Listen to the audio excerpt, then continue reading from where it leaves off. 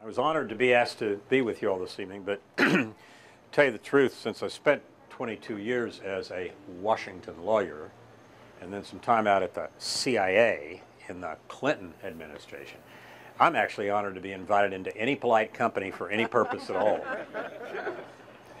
Let's um, get rid of one subject right away because it always comes up. And uh, rather than wait till the question and answer period, I may as well deal with it. And it especially comes up, of course, in these days and times, which is the question Did you ever participate in any of those, you know, covert operations? And the answer is yeah, I did once. And, um, you know, this is a uh, small and uh, discreet audience. I, I, think I could uh, probably, especially in these days and times, uh, talk a little bit about it. it happened um, because my wife and I were classmates at Stanford, and in the fall of 93, uh, just uh, on our 30th anniversary at Stan or classmates at graduation, we decided that we would get away from these two crazy jobs we had, me at the CIA as the chief operating officer, the manager essentially of the National Academy of Sciences, and that we'd take three or four days off, go out to see uh, a homecoming games, see old friends, uh, have a good time. And the first thing that happened is my head of security at the CIA came in to see me and he said, uh, Mr. Director, uh, I know uh, Mrs. Woolsey's going uh, with you out to uh, your reunion, but he, he said, you know, you really, um, I got to tell you, uh, we can't have anybody named Woolsey on your plane. I said, but my name's Woolsey. And he said, oh, no, sir, you're going to need to fly in alias. And of course, my first thought was, uh-oh, there go the frequent flyer upgrades. so we go out to Dulles Airport and we take my wife to a United flight and sitting in first class with her nice upgraded seat, sipping a glass of Chardonnay, her plane takes off for San Francisco. We go to another United flight, just down the ramp a bit, and um, pilot and the the uh, my two security guys stop by the pilot and talk for a moment to him and the flight attendant. And we go back to, unfortunately, the back row uh, of coach. Now, with this audience, maybe I should explain something. There's a section in the plane behind first class. We know. You know? We all know. I was told this audience. So we take me onto the plane, the two security men do, and having already spoken to the pilot and chief flight attendant, we go back to the back row of coach, and these are two big guys, being security guys, and so they're sitting on one on each side of me. I'm in that seat in the middle where you can't even lean back because there's a barrier behind you, the John, and uh, I'm wedged in between these two giant guys like you know, for five, six hours to San Francisco. Well, we finally get to San Francisco, and as I'm walking down the jetway, a flight attendant comes over to one of my uh, security guys, whose nickname, for about five different reasons, is Rock. Now, I had not seen Rock even smile in the six months he'd been on my security detail. But as the flight attendant walks past him and whispers something to him as we're walking down the jetway, he just cracks up. And since I had not seen Rock even smile in those six months, to, to see him laugh boisterously was a surprise. So as we walked past, I said, Rock, um, what's so funny? He said, well, that's what she said. I said, what'd she say? He said, she said, um, you know, I've been on these flights for 20 years, and that is the politest and best behaved prisoner that we have ever had. so the way I looked at it, by that time having been in the CIA for six months, I had a covert operation. I had to get to California undercover. I got there undercover, mission accomplished. well, um, I want to talk to you a little bit tonight about a, a subject that is not pleasant, but uh, sometimes those things we have to deal with uh, in the world are not. And uh, let me leave plenty of time for, for questions and hit the, the high points uh, here. But um, the thing that I want to emphasize is that this country has 18 critical infrastructures food, water, transportation, finance, communications, all of them, without exception, depend almost completely on the 18th infrastructure, namely electricity, in order to operate. So if the grid goes down for a day or two and you've got to go to your backup uh, generator at your house and uh, everybody uh, sits around and puts logs on the fire instead of having every, all the systems going, eh, that's not bad and it's actually kind of fun. But after four or five or six or seven days, it gets to be a serious problem. You need to think about what it would be like if it went on for months, veering into years because uh, the electric grid is unfortunately uh, extremely fragile.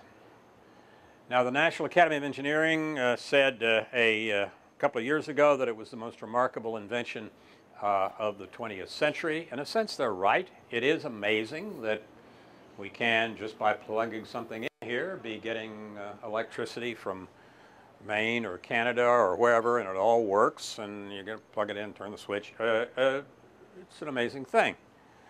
Uh, but um, it is, as the Academy said, remarkable, but it is also remarkably fragile.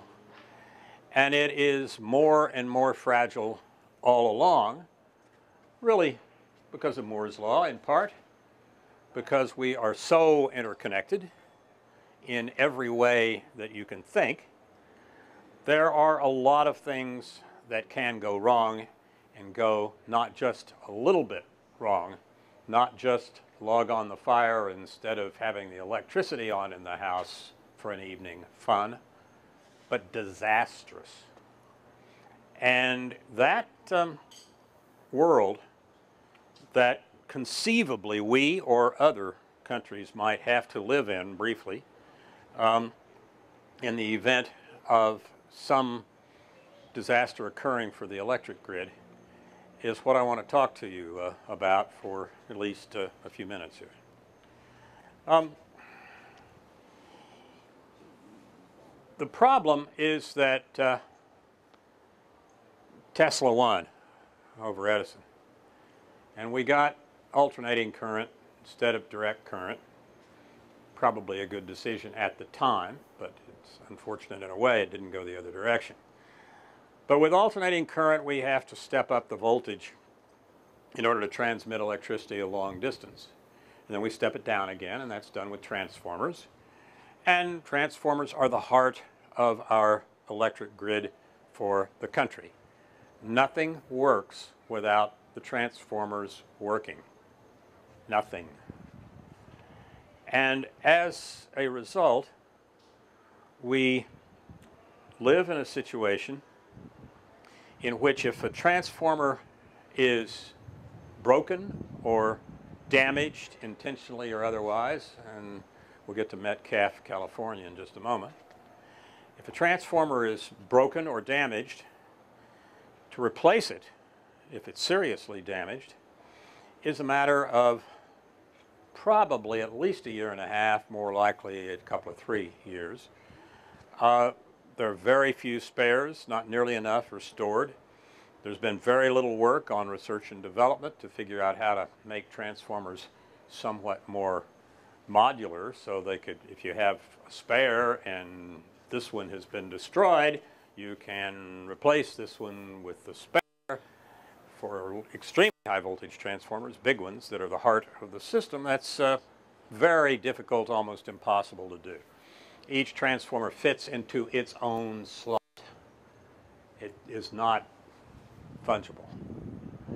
And uh, what that means is that once the grid is down. Uh, you have a extremely dangerous and difficult situation.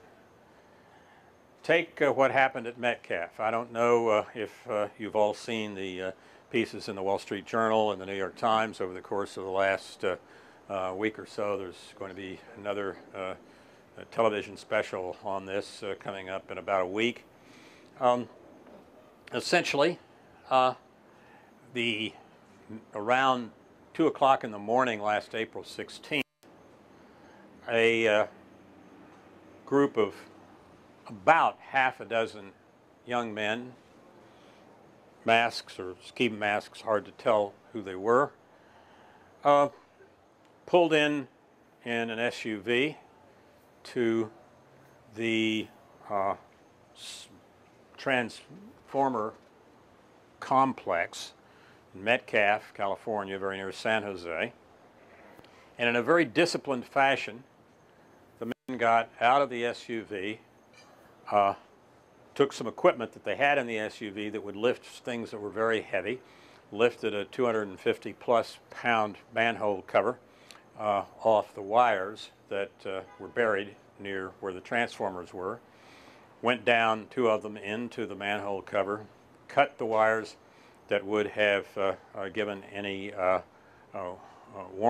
uh, from a, a, malfunction or, or lack of heat, lack of operation of the whole electrical system. Um, left lookouts to see who might, uh, uh, anybody who might be coming that they could get warning for, um, and uh, cut the 911 uh, lines underground, uh,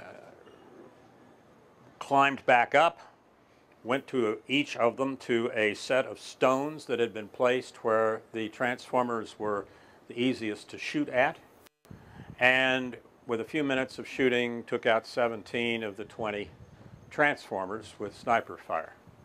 Um, a apparent, apparent drive-by by a car that had heard something. Um, as soon as the out look, lookout saw what was happening, he signaled the others. Everybody piled into the uh, SUV uh, way before the other car got there, and the other car didn't know what was happening and didn't know what the gunfire had been, been about.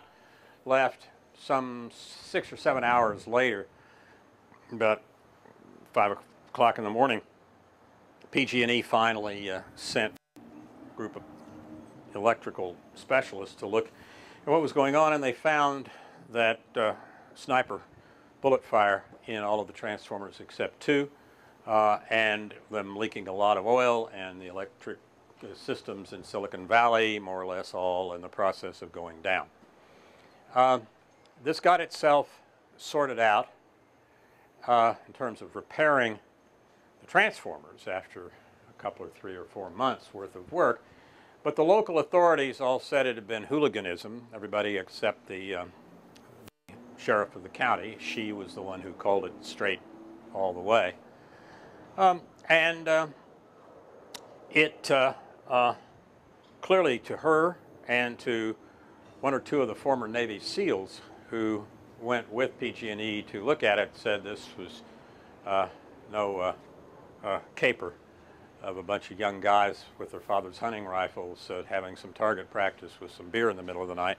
Uh, uh, this was a very serious effort to take down the grid, at least that portion of it. There are two other transformer farms essentially in Northern California, one in the East Bay, one down near to Palo Alto if all three of those had been taken out, uh, uh, basically you would have been without electricity in Northern California for a year and a half, two years, something along those lines. Uh, happily, the those who fired into the transformers were not using armor-piercing uh, rounds, so they took out the fans and uh, some of the apparatus, but not didn't completely destroy the transformers itself, themselves. Um, and they um, um, uh, were able to repair it sooner than they would have if the attackers had done it just right. So uh,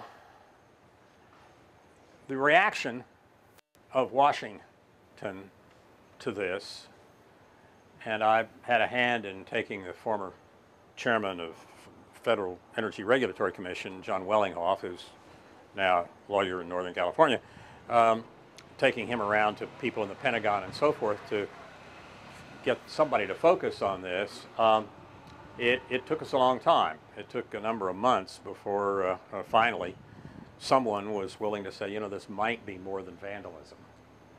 Uh, and uh, uh, to actually, uh, through finally talking to a bunch of people and so on, seeing this crop up in the press and now page Wall Street Journal, etc.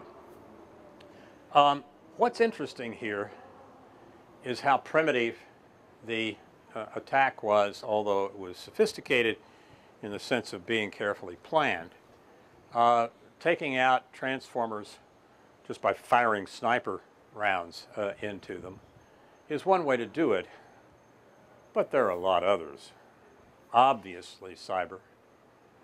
Um, obviously, uh, I think a general approach toward going after the electric grid in, a, in sophisticated fashions that could have left a major share of the United States uh, in economic uh, disaster.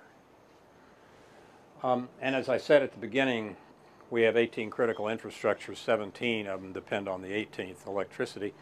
And uh, uh, you're down for a couple of years probably if they shot right. Um, what is potentially going on here and what else might happen?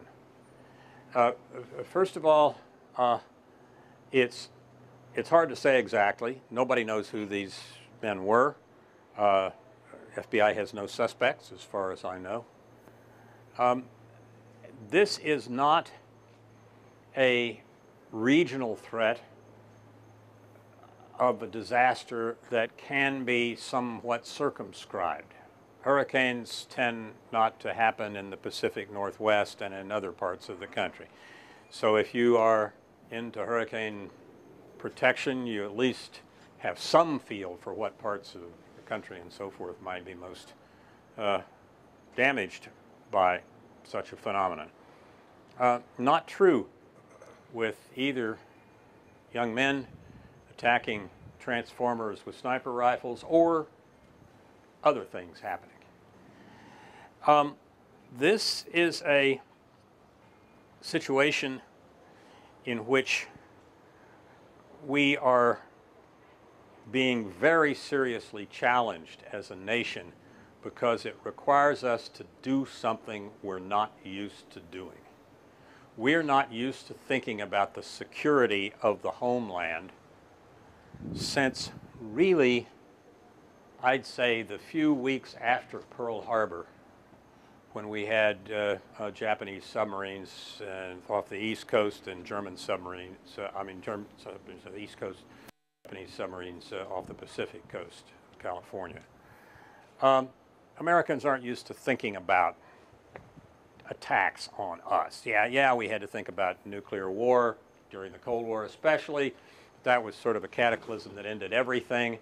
But to have somebody actually be planning to take out portions or a very substantial share of our electric grid is uh, a new thought. It is uh, not something that we are used to dealing with. It's not something we want to deal with. It's something that most people feel just somebody take care of this. It's crazy. But if you go to the Department of Energy, you'll find that they're doing a little bit of work on modular transformers. If you go to the military, you'll say they are doing some work because they have some experience, particularly with electromagnetic pulse, which I'll say a word about in a minute, but experience with protection and focusing seriously on, on that side of life. Um, but we uh, don't want to have to protect Metcalf, California, from people with sniper rifles. That world we thought ended, say, in 1865, or at least in 1941, 42. And we're, uh, we're not ready. We're not organized to do it. If you go to the Department of Homeland Security and say, you guys are Homeland Security, what are you doing about the survivability of the electric grid? You tend to get a kind of deer in the headlights look. Basically, they're not doing much. They don't really think it's their job. They think maybe sort of kind of it's the military's job. Military's pretty strapped for money these days with sequestration and the rest. So there's not a lot of activity. There's not a lot of uh, attention being paid at the White House level or other senior levels of the government.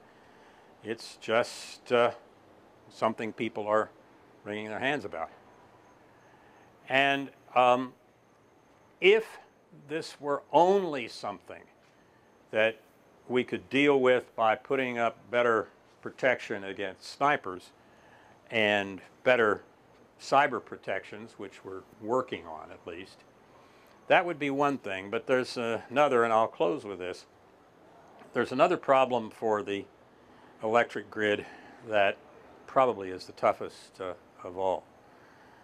Uh, there is a phenomenon called an electromagnetic pulse, which um, is, in the first instance, not something that on a causative set of thinking any of us can do anything about because the actor is the sun. The sun creates every once in a while um, a an electromagnetic pulse, a, a, a coronal ejection it's called, that is like a huge solar storm. And at a few times in the past, there have been events, solar events of such a size, one in 1859, that it would have essentially taken out all of the electronics in the world if we'd had many electronics beyond the few telegraphs that we had at the time. Um, it, uh, however, since then, and periodically, also the sun throws up somewhat smaller electromagnetic pulses, but those can be devastating. In uh, 1989, there was one that uh, occurred in solar terms very close to Quebec and effectively took out Quebec's electricity for a year. Uh, so there is this phenomenon of solar events that it doesn't matter whether we want to deal with it or not. There's no way to get away from it by saying, well, you say this, maybe the Russians or the North Koreans or somebody, but I'm not worried about the Russians and North Koreans. They're not going to do anything crazy. Get away and leave me alone.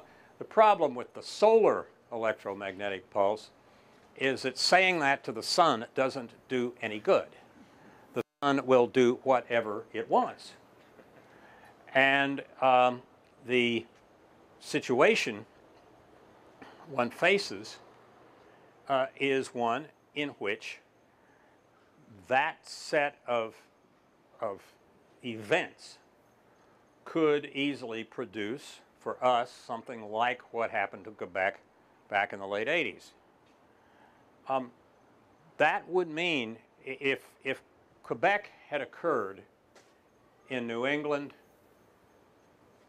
New York, and Pennsylvania, uh, we, uh, as it did in Quebec in 89, uh, we would have been without electricity in a huge share of the United States for at least a year or so, maybe more. And what that means is huge problems with water, with food, with transportation, with the financial world, with technology of all sorts. A stunning, stunning set of problems. The other thing, however, that can happen and that can give rise to electromagnetic pulse um, is human caused.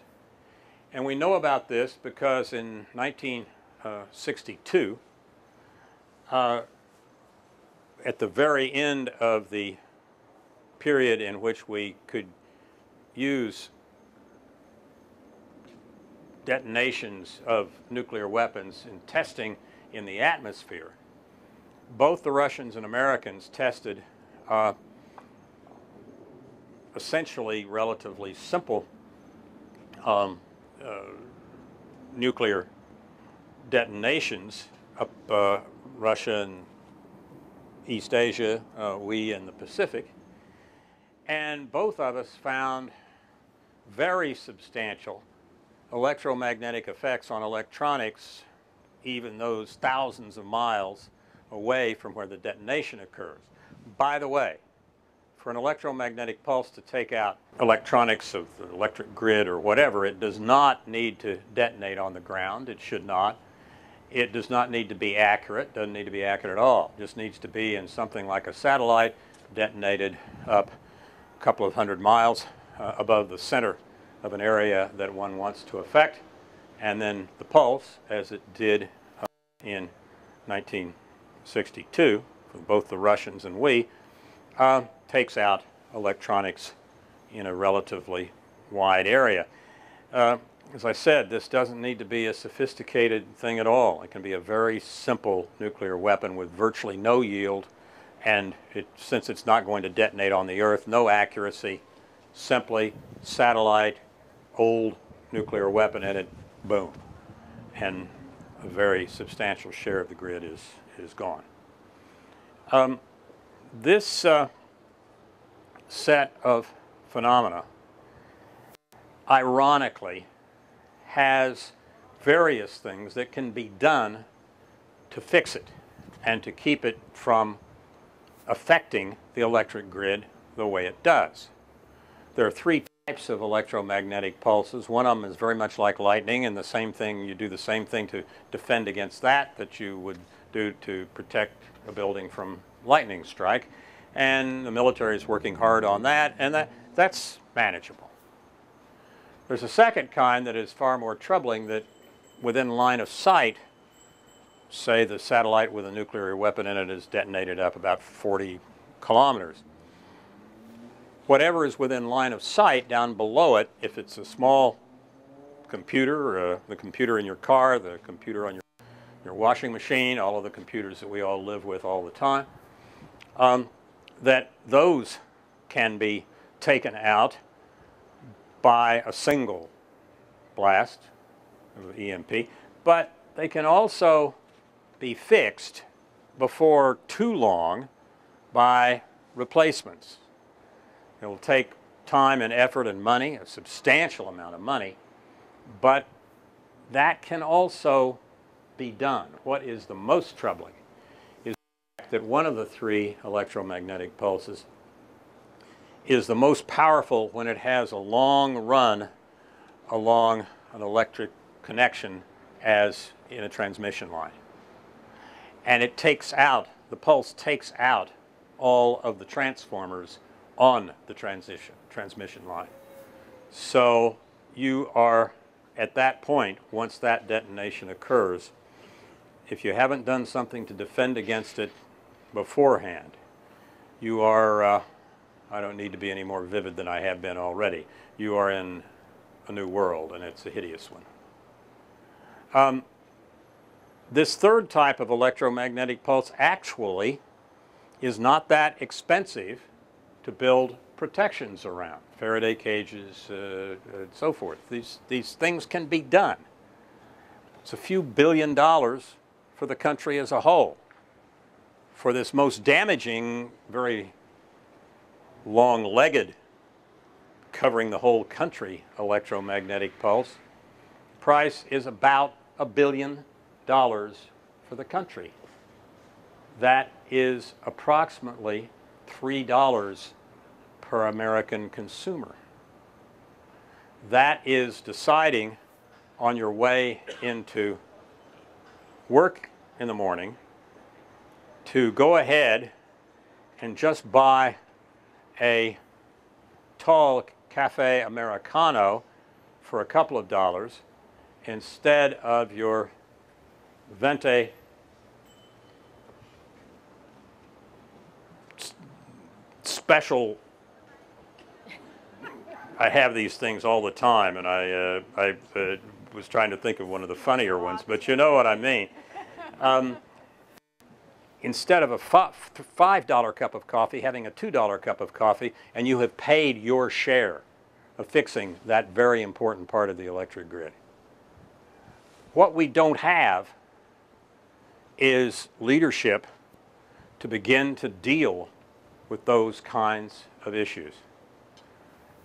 The technology is not the main problem. The likelihood of a North Korean or Chinese launch of a missile from a fishing boat off our coast to uh, produce uh, an electromagnetic pulse is probably slim, at least in the near term.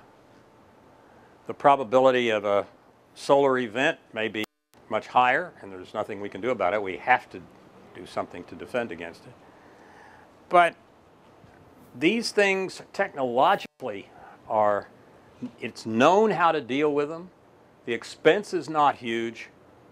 What we are not doing is paying attention as a country to what we need to do in order to deal with this kind of a threat to our entire way of life. I want to end on one at least partially optimistic note. I uh, think that uh, it uh, is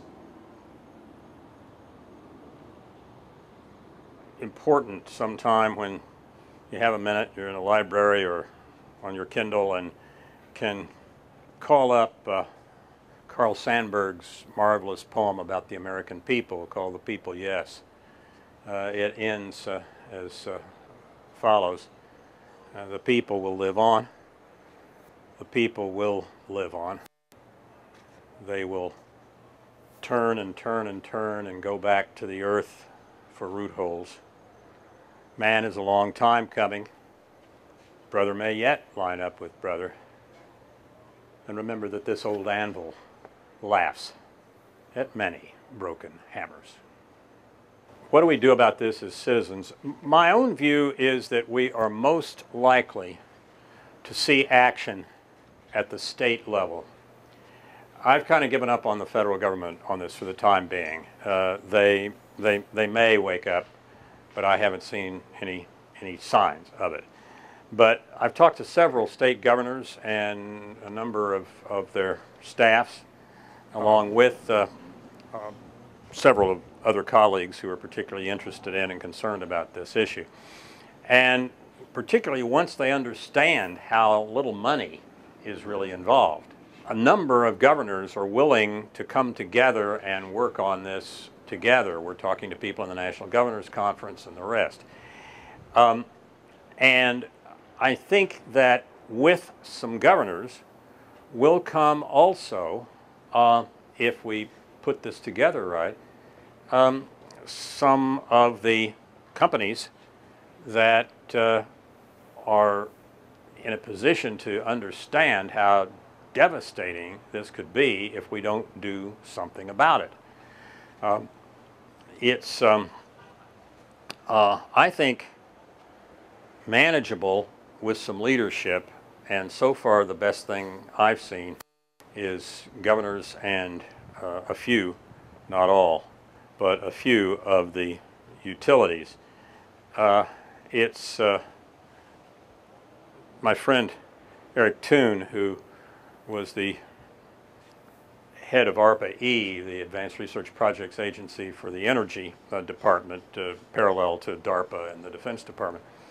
Uh, Eric ran these numbers himself, and he's a vice provost Duke and a chemical engineer. He says that uh, the whatever it is, about 2,500, 1,500 or so utilities in the U.S. spend less on research and development annually than does the American dog food industry. Now we have pretty healthy dogs, I guess, in the U.S., and maybe we're doing a good job of that. But if you leave, at least in my experience, business alone on this they're not going to do much, but they might, a few of them are looking like they're beginning to respond to governors. And so I would, I would think that, that some business associations working together with, with some governors could, could help begin to get this going. Uh, I might be wrong. Qu question is, who would I think is behind uh, Metcalf? It's a, it's a real crazy situation and, and a very difficult call. Uh, an investigation may well turn up uh, some kind of crazy renegade group of, of, of people who are responsive to, you know, neo-Nazi ideas or whatever. I, I don't know. But this didn't look ad hoc. It didn't look like people who were doing this for the first time. It didn't look to the Navy SEALs who looked at the film and so forth. It didn't look like people who were untrained. Uh, it looked like people who knew what they were doing, although weren't perfect. As I said, they didn't use armor-piercing rounds and so forth. Um, the both the Navy SEALs and uh, uh, the sheriff of county said it was about as clear to them that it was terrorism, planned terrorism, as as they could think anything would be like this. So uh, I don't know. I don't know, but uh, you know, you look back at Waco and Oklahoma City and and so forth. We have crazy groups in this country, and some of them have ties to organizations overseas, and some do not. The American electric grid is kind of an organizational nightmare. Uh, the, you have investor-owned utilities, of course, and you also have municipal uh, uh, and, uh, uh, and, some others, uh, like agricultural co-ops and so on. It is very heavily divided up state by state in terms of the real regulatory authority. And uh, added cost, which would go into the rate base or sometimes paid for otherwise, um, is uh, heavily resisted, mainly by the utilities and by governors and the, the, the uh, uh state authorities. Um, it um, it has got to find someone who will stand up with, I think as a governor, and explain how his state, her state, is going to be better off because they're taking certain action. Um, and uh, I, uh, I can't, I don't imagine we're anything out of the federal government, at least for the next several years, maybe for longer than that. Uh, and business alone is not going to do this. But, but, but business with a governor or a group of governors through the Governors, uh, uh, National Governor Association and so forth, I think might. Can a state protect itself? Uh, it, the answer is kind of, it depends on where the uh, uh, areas are where there are, are you know, a lot of uh, uh, uh, transmission lines and, and transformers. Um, there are about eight or ten states, most populous ones usually, that if you got the three or four or five major uh, organisms or structures, let's say, of or collections of transformers, uh, you'd take out the rest of the country and there are another three or four or five or six that it wouldn't take out much more than a single state. So it, it, it varies, and you, you, see you can find these things on the web. If you just look at a, a map uh, of where the, the uh, transformers are. Uh, and by the way, we haven't done squat to protect the information uh, dealing with these. Uh, one of the interconnects, which is one of the big organizations that, that deals with the buying and selling long distance electricity, among other things, had a um, uh, uh, something happened a couple of years ago. Uh, a Chinese individual, I don't know whether he's Chinese American or Chinese Chinese, asked one of the big interconnects if he could come spend a few days or a week or two looking at their electric grid and how it was all put together and how it worked because he was doing some work in China. The guy who's the head of this interconnect uh, called the State Department, got somebody who claimed to have something to do with China and asked, and the person in state said, oh, sure, you know, he's Chinese and we want to be nice to the Chinese, so yeah, let him look at what he wants.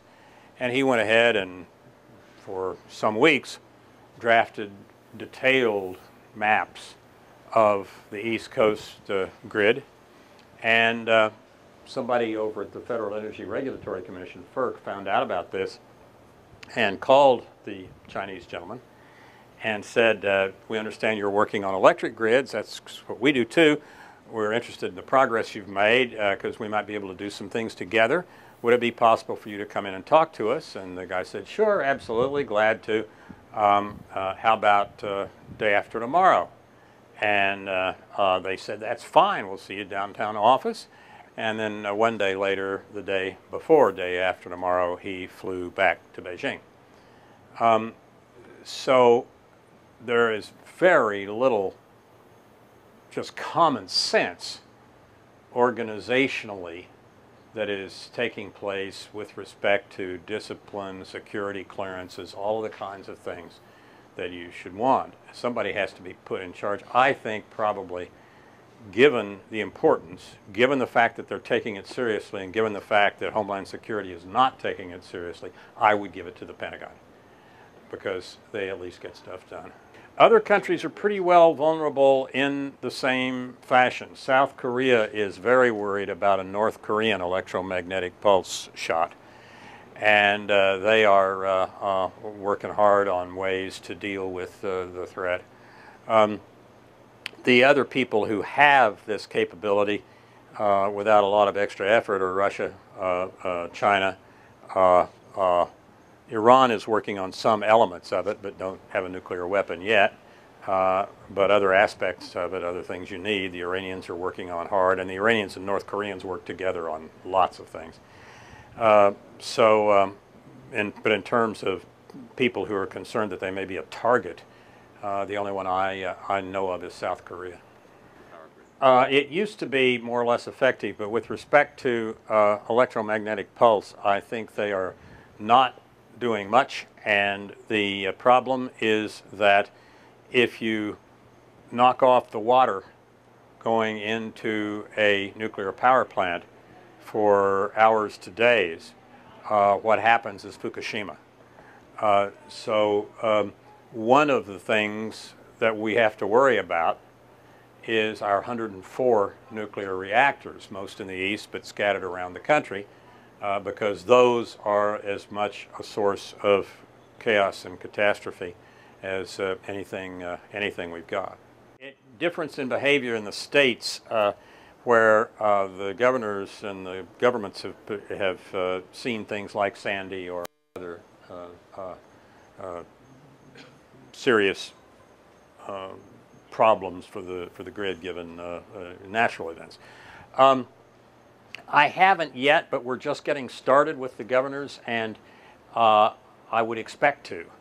Uh, on the whole, the only group I've been uh, impressed with in this uh, sort of careening around, talking to people about this and so forth, and talking to, to academics who know something about it and so on, it, it, it's the governors. That's what people tend to say I tried to talk to so-and-so in DOE, and they don't know a damn thing about this, and they are scared to say anything about it. The governors generally say, either tell me about it, or so-and-so was by here last month, and he took us part way into it. Uh, what are some of the other states doing? What, what could we do to work on this? So, you know, it's, uh, we, I hope this ends up being a marvelous justification for our federal system. Uh, and so far, the governors are about the only ones I find that are, are really looking like they'd be doing something.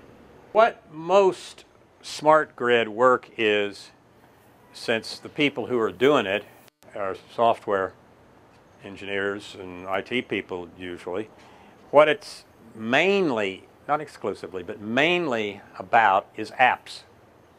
Everybody wants to come up with a new app. They want you to be able to use your cell phone to turn down the heat in your home uh, on a hot summer day and turn down the air, I'm the heat, turn down the air conditioning so you don't waste a lot of electricity and to be able to do it as an app. And that's what excites them and that's what most of them are working on. Um, and if you say you ought to be working on security, you tend to get, from many of them, the kind of deer in the headlights of, hey, well, that's not my job. I, I, I create apps. Um, I was asked three or four years ago by uh, one of the laboratories, Sandia, to um, write a history of the electric grid uh, in 500 words and to do it in one day, uh, please, before the conference ended. So I, uh, remembering a couple of movies that have floated around, I came up with a situation whereby a group of eighth graders in Tarzana, California, um, were uh, at the beginning of the summer beginning to see the grid going down for one day. First in Tarzana and then around the country, Cleveland and then back up and then in San Jose down and back up. And there, nobody could figure out what was going on, but these eighth graders were giggling a, a, lot. And finally, uh, one of them came into the police station and said he needed to talk to the police chief. And, and the sergeant on duty said, well, why is that, Timmy? And he said, well, my dad heard me and my friends talking about something, and he told me I had to come and talk to the chief. Said, well, all right, come on in, Timmy. What, would you like a glass of water, any? What, what, what's this about? And Timmy said, well, you know, he said, you know this business where the grid's been going down in a different town each day and then coming back the next day? He said, yeah, everybody's worried about it. We got national studies and teams and engineers and everything. And Timmy said, yeah, I, I know. Um, he said, that's us. He said, that's me and three of my friends. And he said, what happened is pretty straightforward, is that the video game issue that came out in early June, right when school was out, was really boring. I mean, my friends and I were through that within a day or two. It just it wasn't anything to it. And we didn't have anything to do for the summer, so we figured we'd take down the electric grid. And that's been us for the last uh, uh, two or three weeks. And, you know, we figured we weren't really going to hurt anybody if we just took it down for a day here and a day there. So that's what we've been doing. And he said, then what happened three days ago, the reason this is all stopped is the new issue of video games came out and they are really hard. They are much harder than taking down the grid. So we decided we'd stop taking down the grid and we'd, we'd go back to the video games. And the chief was shaking by the sway time, and he says, he says, uh, what, uh, what um, do you suggest we do? And the eighth grader said, well, he says, one thing you got to do. He said, you know, all you guys, you have these guys who are putting apps together and they call it a smart grid. He said, you don't have a smart grid. You got an ODAVed grid. And the chief is still shaking and he says, whoa, whoa, whoa, what's ODAVed? And the eighth grader says, ostrich designed, awesomely vulnerable, dude. So, yeah, I mean, there's a smart grid and there are a few people working on it who I think have the right priorities and are focused on, on improving security and great. But most people who are working on it want apps and that's what they're thinking about. And they, when they hear smart grid, they think I get to design a new app. DOE has gotten started on a modular transformer. It's not real far, far along and it's not a big modular transformer, it's a small one. but they're at least working on the problem. Um, and have been for a year or so. I, I guess one of the things I might do is push that as fast as one can because when you're talking about a human attack, uh, it's limited number of people, and uh, if you did have securely stored even a relatively small number of transformers, but they would have to be the big ones, uh, then you've got a, a pretty ready response once something happens. In the meantime, you can probably build resilience uh, into the system, uh, uh, you know, a number of ways with reserve capabilities and Faraday cages and that kind of thing that can be put in if something is damaged.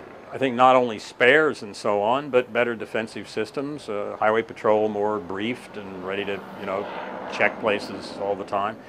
Uh, but, uh, and this is the kind of thing you want to be able, however politically incorrect it may be, to infiltrate organizations that might be involved in doing something like this. Uh, and I would say, if anybody asks how you do that, I'd say go talk to Ray Kelly, the police chief, former I guess now, in uh, New York, who uh, he and uh, David Cohen, his deputy, who uh, used to work for me at the CIA, uh, did as good a job as I think anybody in the country has done in figuring out how to do that without treading on people's civil liberties. I guess I'd go get Ray Kelly out of retirement and bring David Cohen in and start figuring out how to get inside the skin of uh, uh, people who might do this.